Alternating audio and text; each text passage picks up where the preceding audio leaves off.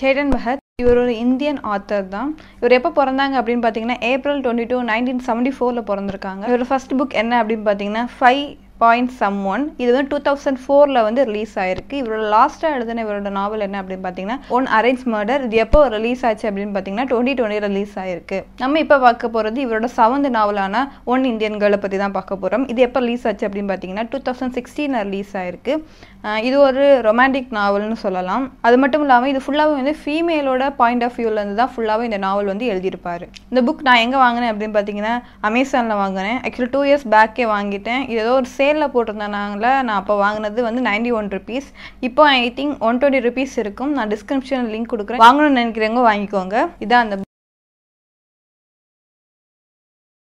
Actually இது ஒரு fiction story தான். இது எப்படி ஆரம்பிக்குது அப்படின்னு பார்த்தீங்கன்னா இந்தியாவில் வாழ்ந்த ஒரு பொண்ணு அதாவது ராதிகா மெக்தா அவரோட லைஃப்பை பற்றி தான் வந்து இந்த ஃபுல் ஸ்டோரியுமே வந்து சொல்லியிருக்கிறாங்க. இந்த ஸ்டோரி எங்கே ஆரம்பிக்குது அப்படின்னு பார்த்தீங்கன்னா கோவாவில் ஆரம்பிக்குது. கோவாவில் ஒரு ஹோட்டலில் வந்து ராதிகா மெக்தாவுக்கு வந்து மேரேஜ் அரேஞ்ச்மெண்ட் போயிட்டு இருக்குது ஆக்சுவலி ஒன் வீக்காக வந்து கிராண்டாக செலிப்ரேட் பண்ணலாம் அப்படின்னு இருக்கிறாங்க. ஆக்சுவலி இவங்களோட ஸ்கூல் லைஃப் எல்லாம் எப்படி போச்சுன்னா இவங்க ரொம்ப நல்லா படிக்கிற பொண்ணாக இருப்பாங்க. இவங்களுக்கு அப்போ யார் மேலுமே இன்ட்ரெஸ்ட் வராது. ஸோ அவங்க யாரையுமே லவ் பண்ணியிருக்க மாட்டாங்க.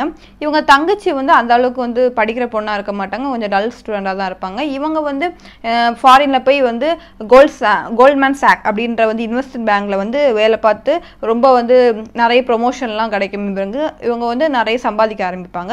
இவங்க தங்கச்சிக்கு வந்து இவங்களுக்கு முன்னாடியே வந்து மேரேஜ் ஆகிடும் ஸோ வந்து இப்போ இவங்களுக்கு பார்த்துருக்க பையனோட பேர் வந்து பிரிஜேஷ். இவர் வந்து சான் ஃப்ரான்சிஸ்கோவில் இருக்க ஃபேஸ்புக் கம்பெனியில் வந்து இவர் வேலை பார்த்துட்டு இருப்பாரு. இப்போ என்ன ஆகுது அப்படின்னு பார்த்தீங்கன்னா இங்கே வந்து மெஹந்தி ஃபங்க்ஷன்லாம் போயிட்டுருக்கு. அந்த டைம் தான் வந்து இவங்களுக்கு வந்து ஒரு மெசேஜ் வருது. இவங்க வந்து யாருன்னு பார்க்க மாட்டாங்க. ஏன்னா அவங்க ரொம்ப பிஸியாக இருக்காங்க. அதுக்கப்புறம் ஒரு கால் வருது. அப்புறம் தான் வந்து இவங்களுக்கு தெரியுது. அது வந்து டெபு இவங்களோட எக்ஸ் பாய் ஃப்ரெண்ட் அவங்க கால் பண்ணி என்ன கேட்குறாங்க நீ எங்கே இருக்க? அப்படின்ற மாதிரி கேட்கும். இவங்க சொல்கிற இவங்க கேட்பாங்க நீ ஏன் கேட்குற அப்படின்னு கேட்கணும் இல்லை சொல்லு அப்படின்னா இவர் சொல்லுவா நான் ஹோட்டலில் இருக்கேன் அப்படின்ட்டு. உடனே இவன் சொல்லுவான் நான் இன்னும் கொஞ்ச நேரத்தில் அங்கே வந்துடுவேன் அப்படின்னு சொல்லி நீ வராதுன்னு சொல்கிறதுக்குள்ளே அவர் வந்து கட் பண்ணிடுவாங்க. ஸோ வந்து இவர் வந்து இவர் வந்து ரொம்ப நர்வஸாக இருப்பான். இவன் எதுக்கு இப்போ இங்கே வர்றான்? அப்படின்ற மாதிரி நர்வஸாக இருப்பான். கடைசியில் பார்த்தா டபு வந்துருவாங்க. இவங்க ரெண்டு பேரும் வந்து ஜிம் ரூமில் வந்து மீட் பண்ணி பேசிகிட்டு இருப்பாங்க. அப்போ தான் வந்து ஃப்ளாஷ்பேக் சீன் போகுது. இவன் வந்து மொதல் வந்து இங்கேருந்து ஆக்சுவலி ஃபாரின் போய் வேலை பார்க்கும்போது அப்போ இவளுக்கு வந்து யாருமே ஃப்ரெண்ட்ஸ் யாரும் இருக்க மாட்டாங்க. அதுக்கப்புறமா வந்து கிடைக்கிறவர் தான் இந்த டெபு. இவர் வந்து நார்மலான கம்பெனியில் தான் வேலை பார்ப்பாங்க. இவ அளவுக்கு ரொம்ப வந்து ஹைஃபையான கம்பெனியில் எதுவும் வேலை பார்த்துருக்க மாட்டார். இவங்க ரெண்டு பேருக்குள்ள ஃப்ரெண்ட்ஷிப் ஆகி நாளடைவில் வந்து அது காதலாக மாறுது. ஸோ என்ன ஆகும் அப்படின்னு பார்த்தீங்கன்னா இவங்க ரெண்டு பேரும் லிவின்ல இருப்பாங்க. ராதிகாவுக்கு வந்து ப்ரொமோஷன் அடிக்கடி கிடச்சிட்டே இருக்கனால வந்து இவளை இவரை வந்து எப்போ பாரு வந்து இவ வந்து பார்ட்டிஸ் கூட்டிகிட்டு போவா. இவருக்கு வந்து ரொம்ப ஒரு மாதிரியா இருக்கும். ஏன் அப்படின்னு பார்த்தீங்கன்னா இவரோட ஜாப்ல வந்து எந்த ஒரு இம்ப்ரூவ்மெண்ட்டுமே இருக்காது. இவரோட ஜாப் வந்து அப்படியே தான் போயிட்டு இருக்கும் ஸோ இவன் மட்டும் வந்து அவளோட கரியரை வந்து ஹையர் லெவல்ஸுக்கு போய்கிட்டே இருப்பான் ஸோ ஒரு டைம் என்ன ஆகும் அப்படின்னு பார்த்தீங்கன்னா ராதிகாவோட ஃபேமிலி வந்து அவளை மேரேஜ் பண்ணிக்க சொல்லிட்டே இருப்பாங்க. ஸோ வந்து இவளும் டபுட்டை வந்து நம்ம கல்யாணம் பண்ணிக்கலாம் அப்படின்னு சொல்லுவா. பட் டபு வந்து கல்யாணத்துக்கு இன்ட்ரெஸ்டாக இருக்க மாட்டார். ஸோ வந்து அவங்களும் ஒரு சண்டையாக மாறும் அது. ஏன் அப்படின்னு பார்த்தீங்கன்னா டபு வந்து லிவின்ல இருக்கிறதுக்கு ஒத்துப்பார். பட் கல்யாணம் வரும்போது இவரை வந்து ஒய்ஃபாக அவரால் ஏற்றுக்க முடியாது. ஸோ முடியாது அப்படின்ற மாதிரி சண்டை போகும். இவ வந்து அன்னைக்கு வந்து வேலைக்கு வந்து கிளம்பி போயிடுவா.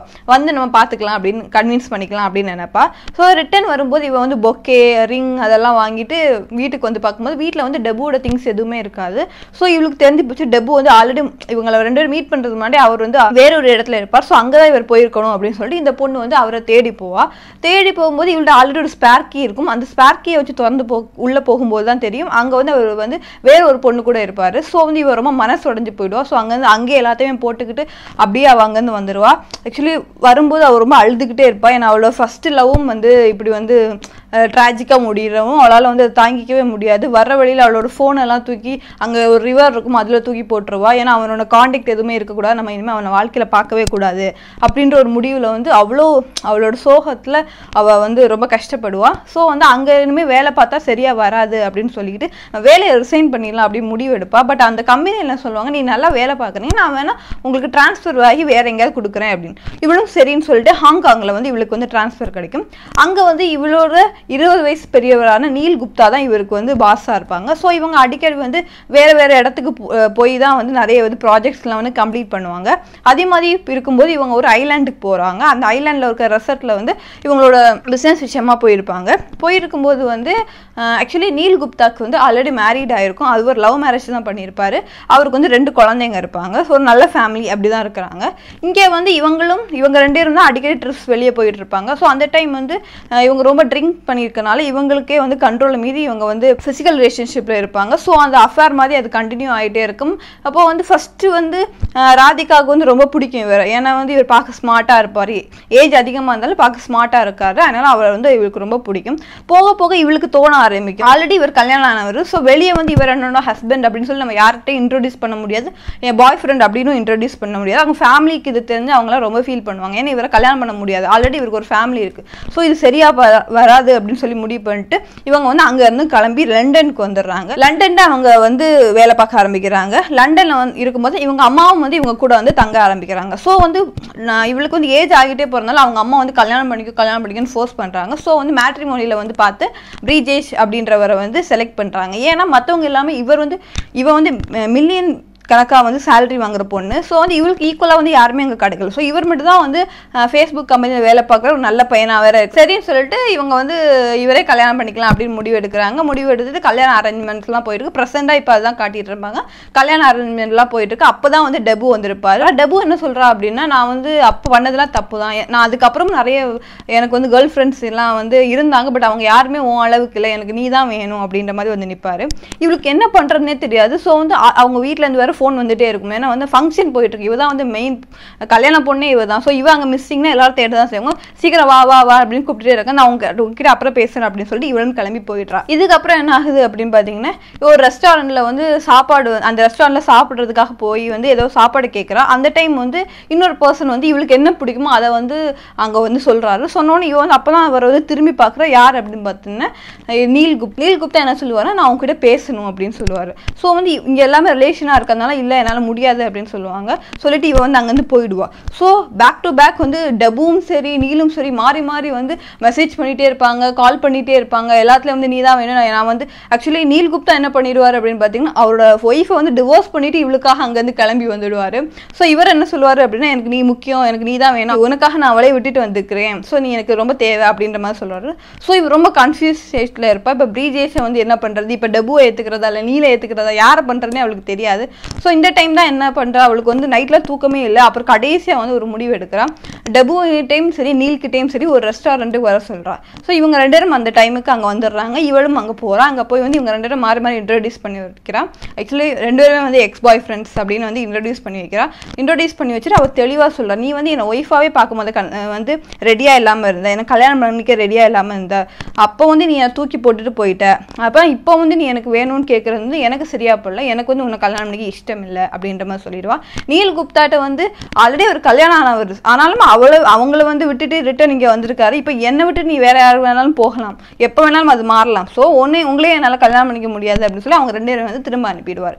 இப்போ நேராக வந்து ரிட்டர்ன் ஹோட்டலுக்கு வரா. ஹோட்டல் வந்து மேரேஜ் அரேஞ்ச்மெண்ட்ஸ்லாம் போயிட்டுருக்கு. அங்கே எல்லாரையும் கூப்பிட்டு வச்சு எனக்கு இந்த கல்யாணத்தில் இஷ்டம் இல்லை அப்படின்னு சொல்லிடுறா. எல்லாரும் ஷாக் ஆகிடுறாங்க பிரீஜேஷ் வீட்டில் இருக்கவங்களாம் ரொம்ப டென்ஷன் ஆகிறாங்க இந்த டைம் ஆக்சுவலி ஃபுல்லாக ஃபைனல் ஃபைனல் ஆயிடுச்சு. இப்போ கல்யாணம் அப்படின்னு வரும்போது இப்போ வந்து வேணான்னு இந்த பொண்ணு சொல்லுது அப்படின்னு ரொம்ப கோவப்பட்டு ரொம்ப திட்டுவாங்க. அந்த டைம் பிரீஜேஷ் வந்து எல்லாரும் வந்து காம் டவுன் பண்ணி இல்லை பரவாயில்ல அப்படின்னு சொல்லிட்டு எல்லாரும் எல்லாரும் அங்கேருந்து கலைஞ்சி சோகமாக போயிடுவாங்க. அதுக்கப்புறம் என்ன ஆகுது அப்படின்னு பார்த்தீங்கன்னா கொஞ்ச நாள் கழிச்ச அப்புறம் வந்து ராதிகா வந்து பிரீஜேஷுக்கு வந்து ஒரு மெசேஜ் அனுப்புகிறாங்க நீங்கள் எங்கே இருக்கீங்க? அப்படின்ற மாதிரி மெசேஜ் அனுப்பி எப்படி இருக்கீங்க? அப்படின்னு ஏதோ மெசேஜ் அனுப்பவும் இவர் வந்து பதிலுக்கு வந்து மெசேஜ் அனுப்புகிறாரு ஏன்னா நியாயப்படி இவர் கல்யாணத்தை வந்து இவர் நிறுத்தியிருக்கா.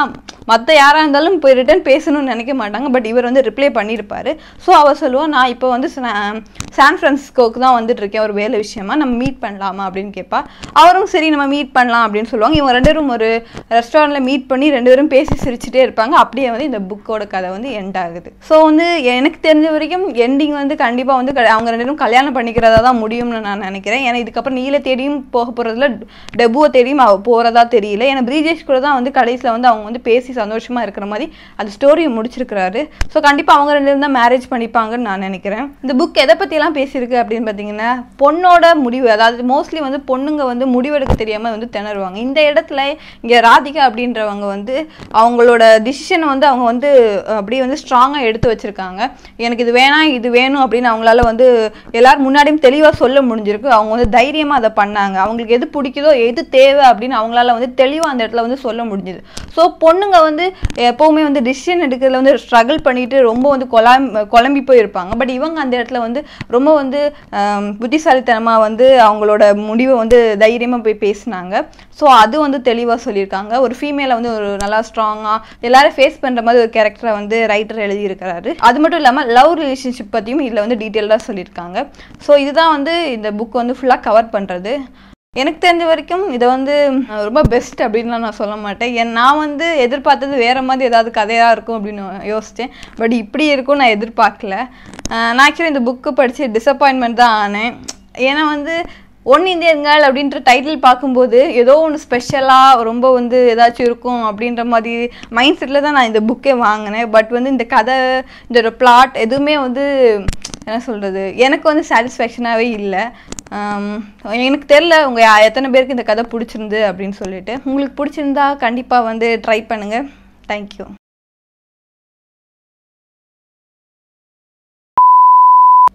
ஹலோ ஹாய் பையனா வேற இருக்கிறாங்க. சோரி